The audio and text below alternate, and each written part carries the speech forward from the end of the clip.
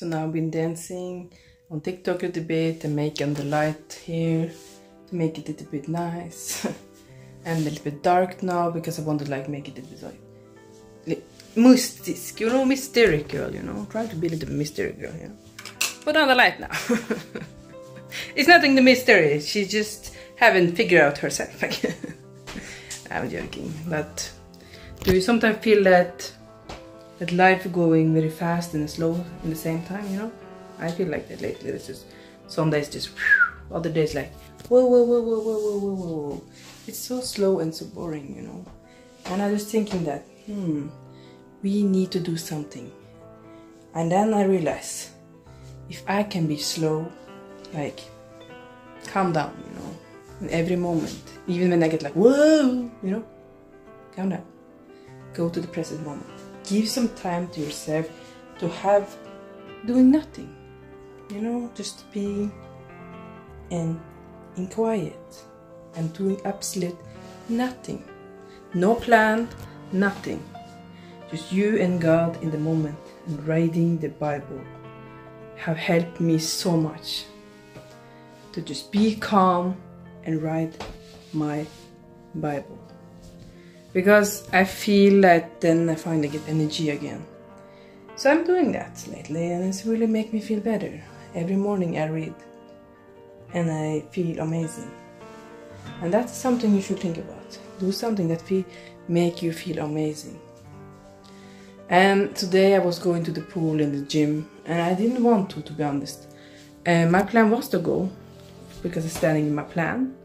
But it was not when it come to the day and it was like, my house was like, woohoo, you know, you know it was not nice. so, yo, yo Lisa, we need to cancel the gym and the pool today, you know? Because we need to go clean the house deep. Because we cannot live like that. But then I said to myself, we don't have to cancel. We can just reschedule to later on the day.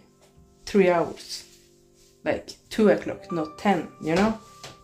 Something like that and then I cleaned and then my I then I get excited, you know, then I was like, okay, I have some hours to do the cleaning and then I can find enjoying what I love. And just because I give me self something to look forward for, it was much fun to clean and do all of these things because then I knew that I in the end I'm gonna get something nice, you know? So because I gave me myself that promise I felt it like, you know what, I can I can do that. But if I just didn't take, give myself like a treat, if you call it, I wouldn't done it, you know, that good. Because then I was like, yeah, I'm gonna be here all day. Then I use my time and watch TV something, you know. But then that made me think about something. That we are like this. If you know that you're gonna get something good in the end, you will do it.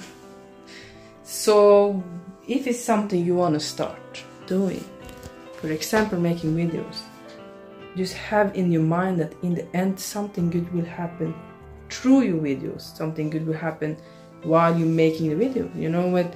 Does always need to be about the views, the likes. It can be about you feeling better about yourself because you grab the camera and you make the video, and uh, and then after you finish making it, you was like, good job.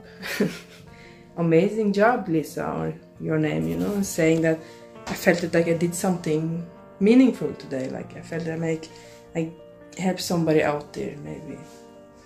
Like lately, I've been trying to be more positive, and I always like be positive, but like more positive. Giving compliment to stranger, like one lady that working like cleaning in the gym. I said her, "You're doing a great job.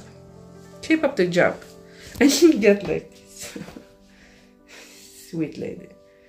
But you don't have to be embarrassing. Embarrassed. She's doing a great job, you have to hear it. That's how it is. Point is the story. It's like just go out and give positive energy. Give a positive thing to people. Give love to people. You know, they need it more than ever these times. So don't be selfish with your love. give it. Being kind and help other people. But it was something happened with me while I've been too kind, you know. It's, it was an old man and uh, he wanted num my number. And then I have to say no and then it's get a bit awkward. Because I don't know if he wanted my number just to be friend with me or he wanted something more. I don't know. I never gonna know. But that happened and then I was like dang it can I be nice all the time you know but I think it's uh, important to be kind and sweet while you're saying no to people if it's a guy or a girl, you know, if it's a girl trying on you and you don't want to, then it's okay, you know, to be like, yeah. That's the reality, you know, not every time you can make everybody happy. because if you're in a relationship like I am, if you're gonna go out and make every man happy, here's like a horror here itself, but like, listen up, if you're gonna make every guy happy, then you're hurting the man you love. So that is something to think about. If you have a woman, you cannot make other women happy, like the giving their like giving numbers to their girl, the girl that asking, to not make her feel horrible. That's saying.